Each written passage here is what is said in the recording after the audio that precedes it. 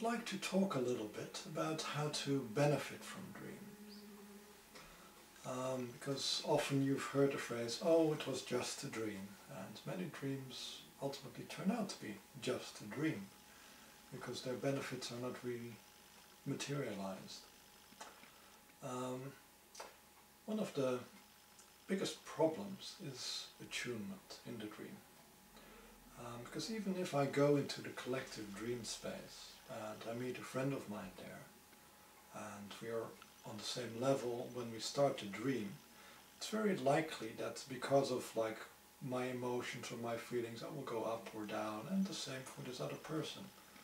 So, and we do have a kind of a contact with each other because I'm thinking of them and they're thinking of me, so we're both projecting dream images but on slightly different levels. So we're in a way dreaming together, but we're in a way also dreaming at cross purposes. Because my projection of him will not be the same, so it will be a blend between my projection and their true energies and the other way around. So ultimately dreams tend to be very confusing, messages become unclear, happenings become unclear because the contact is very hard to maintain in a very clear and precise way. Uh, so dreaming together with the same people or the same spirits um, can help you to really move in sync more. The other thing is to stabilize your dream body.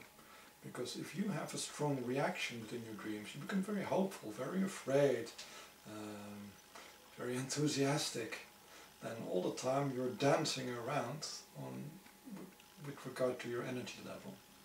And if you become more stable with yourself, you can, yeah, in a way, take good news, bad news, uh, disasters, good events without being moved energetically, then you can stay on the same energy level. And if the other person also is a skilled dreamer who can stabilize their energy body on a certain level, then you can stay together in the dream in the astral and then you can travel and work together in the astral instead of like having to project images of the other and then that image is slightly interacting with the real one and then it gets very confused. So stability of the energy body is a very powerful tool to get more benefit out of your dreams. So you don't drift into like your own fears and the personal dream space again, but stay in a very collective, objective space. Um, the other thing which is very important is dreaming together with other people regularly. Um, because if you are in a way always moving back and forth, you're in a way also because of the events in your life, your energy body will be higher or lower and you tend to end up in different places in the dream space. But if you create like a common meeting place, uh, for people. So for instance, every full moon you meet on this level of the astral. Then you become attuned to, in a way, calibrating your energy body. Like, okay, this is where I want to go. And you get the skill of going to that place again and again and again.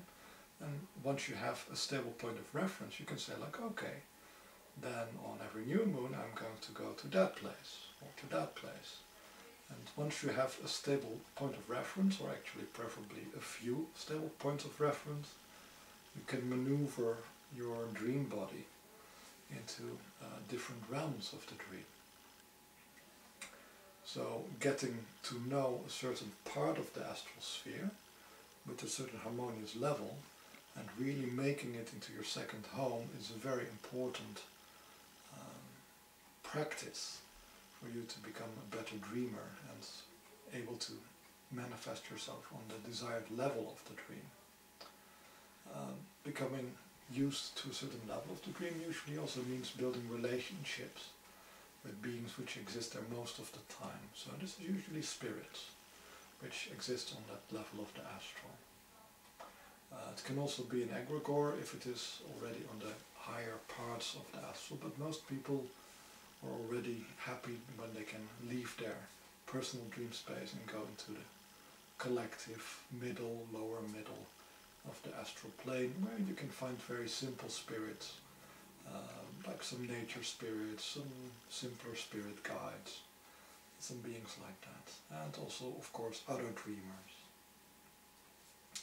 Once you've established yourself within, like, your surroundings, which can also be your physical surroundings, just dreaming together with the spirits of your house to show you the energy of the place. Is everything going well? Am I not creating a, a stressful energy in the house? So this can be a nice jump off point for your dream. And generally the next point where you really want to go is to the place where you can meet with your own guides, where you can get communication with them, where you can receive guidance from them. And your guides can also take you to other places in the dream to let you have the experience you need to move forward in your life. It's also important to note that even though the dream body as it is yeah, can be uh, damaged, can be harmed, which will also translate into a disruption of the physical body, certain events which happen in dreams are not necessarily negative or even harmful. Uh, for instance, in your dream you may be eaten or the meat may be boiled off your bones and this is not necessarily a harmful thing. Like for a physical body, it would be very harmful, but not necessarily for an astral body. So the types of fears and things you need to be aware of and cautious of in dreams are very different than the things which you will need to be cautious of in your physical life. Because ultimately in your dream, you don't want to be pulled into the wrong realm, into the wrong energy where the wrong patterns can jump onto you. So in dreams, just like in trance journeys, it is very important to avoid places which are in a way very stuck in, uh, in a way not moving, not growing, uh, detrimental through life, through evolution. Um, so often dark places um, can be problematic there is no light, no life force, no movement. Um, places of rotting, uh, stagnation like a swamp uh, can be places which are better avoided in dreams. Um, also um, things which have a very unaltering nature like insects who are completely dominated by their instincts, by their habits. Uh, metal, which is also and very much a symbolic thing of something which has been forged into a certain shape and can no longer change. So these things, if you meet them in your dream, they can be risky to work with, in the same as in astral travels, they can be risky to work with.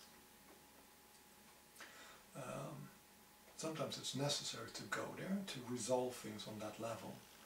But you need to be aware that if you're going on these lower levels, that you should not get infected, not put these things into your energy body. And this is also where the health of the energy body becomes very important. Uh, because during your dream, you're very vulnerable. Anyway, your life force is at a very low level, so everything which impacts on you is not dealt with, is not filtered out. Um, so your dream state is a very receptive state which you're in. And by actually having a stronger life force, even while you're dreaming, you can process the things which are happening in your dream better. But it's very tricky, of course, to fall asleep if your life force is also very active and you feel like doing lots of stuff. Um, this is another practice you could, should get into, not to sleep because you're exhausted, but actually to sleep because it is time for you to sleep while your energy body is still active, your life force is still flowing, because then the impressions you get will work on you more beneficial if they're positive things and they will be less harmful because you can process the energy instead of just having it stick to you if it's a negative event. So a good quality of life force is important. Um, so some people actually eat something to help them to improve the quality of the energy body before they sleep. And what you generally want is you want your energy body to be very harmonious. So generally eating something salty um, before you go to sleep can also help to improve the integration of the energies you pick up during your dream. Another thing which is a little bit tricky is sleeping together. If you're sleeping alone, in a way your energy body will quite naturally go to where it would naturally be. If however you're sleeping in contact with other people, uh, in the same bed or in the same room, then often the energies mingle and you end up more or less halfway between your natural state and the other person's natural state. Um, so often sleeping with other people can lead to very confused dreams. One of the things you can do is of course to yeah, take a little bit more physical distance so you're not in each other's aura, but generally rooms are a little bit too small to do that and especially if you're sleeping in one bed it's not really an option. Um, what does help is in a way moving your own life force through your own meridians a little bit more so you can filter out all the impurities and release them before you go to sleep. So all the energies you've already picked up from the day but also from the other person in your room get as much as possible filtered out and removed from your energy body. Um, the other thing is also the ability either to take the other person along or to be able to separate yourself so you can go to where you need to go in your dream. So it can be very interesting to dream together and to, to share your dream. And sometimes even you can dream for each other.